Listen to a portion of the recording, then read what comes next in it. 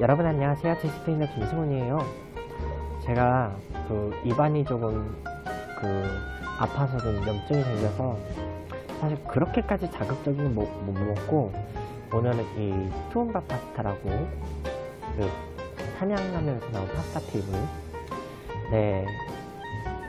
그 좀 그나마 좀 덜 자극적인 것 같더라고요. 좀 뭐 매운 토마토 소스 뭐 이런 건 아니고 약간 그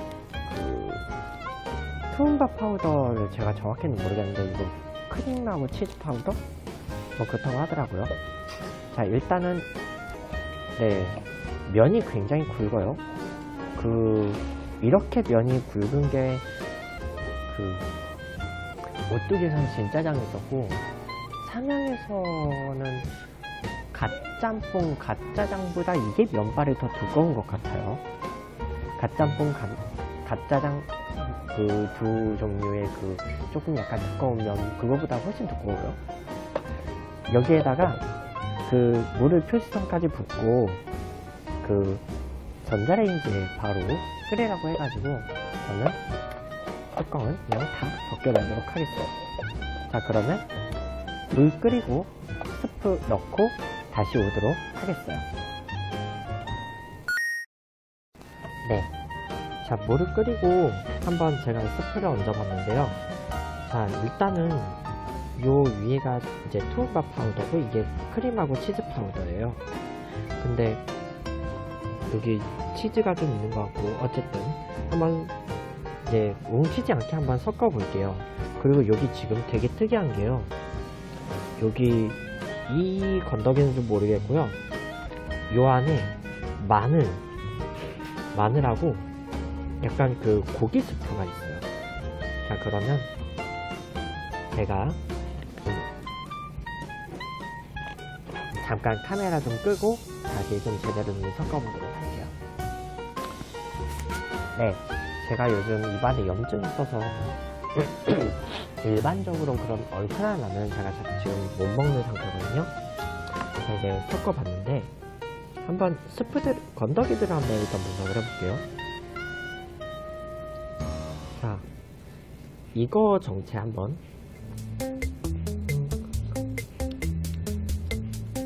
이건 그냥 뭐 좀 쫄깃쫄깃하고요. 그 다음에 이건 마늘이고요. 마늘이죠. 그리고 고기 건더기도 좀 있어요. 어 근데 조금 약간 맛이 있는데 향이 좀 센데요. 맵지나 매운 건지는 모르겠는데 향이 좀 세요. 이 투움바 소스를 제가 어, 사실 그 투움바 파스타를 제대로 먹어본 적이 있어가지고 일단 그냥 한번 그냥 맛을 한번 보는 거예요. 자, 여러분들 뭐 아마 이거 복성 가게 그 납작짜장 뭐 이런 거 먹을 때 나오죠. 그런 분은 면발이 한번 먹어볼게요.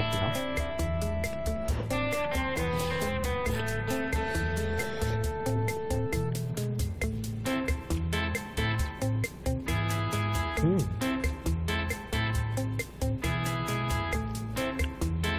면발은 되게 쫄깃하고요. 아 그리고 말씀드리는 건데 이거는요 그이 레시피 보시면요 물을 버리라는 얘기가 없어요. 그러니까 물을 안 버리시고 그냥 그 스프를 이 국물에 버무려서 이 면을 좀 졸이시는 거예요. 그렇게 드시는 거예요. 자 그러면 한 입 더 먹어보고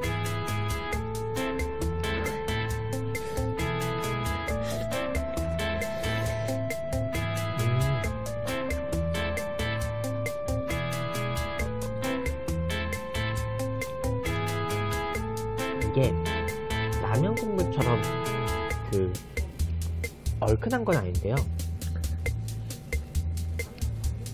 음,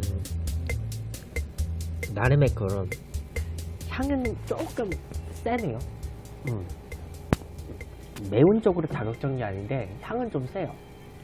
뭐 일단 그렇다는 거고요.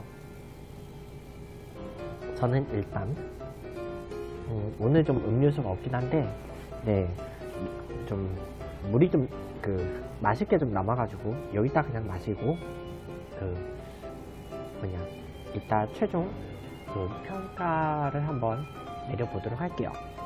네, 뭐 면하고 좀 큰 건더기들은 다 건져 먹었고요. 지금 이 사이드에 붙어 있는 것들은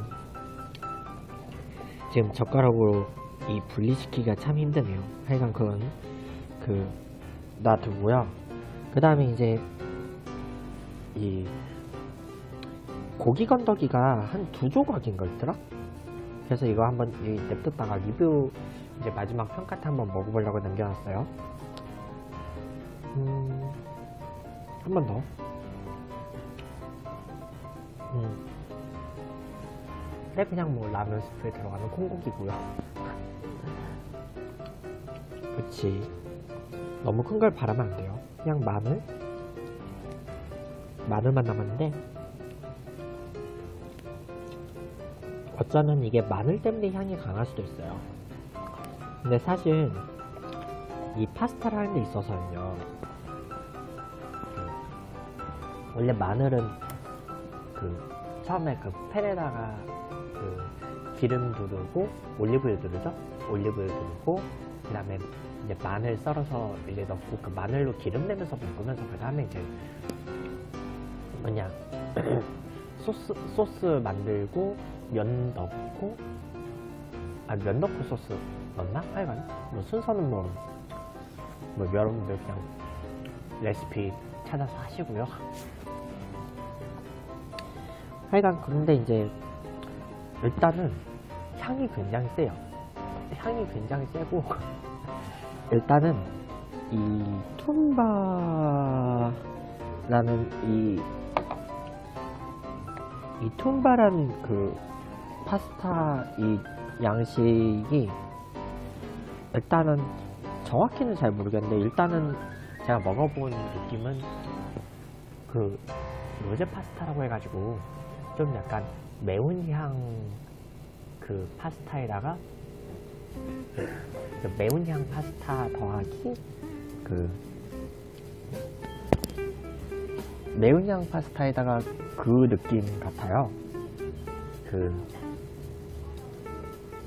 진짜 크림치즈 정도? 하여간 꽤 맛의 조합은 괜찮은 것 같기도 해요. 왜냐면 그 크림치즈 느끼한 느낌은 없어. 느끼한 느낌은 없었고요. 일단은 지금 제가 이제 입안이 좀 안 좋아서 좀 빠르게 흡입하지는 못했는데, 뭐, 네, 일단은 그래요.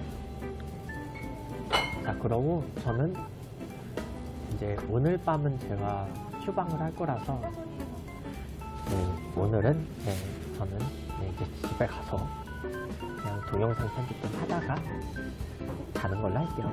자, 그러면, 자, 저는 다른 제품 그 리뷰에서 만나도록 할게요. 자, 그럼 여러분 안녕.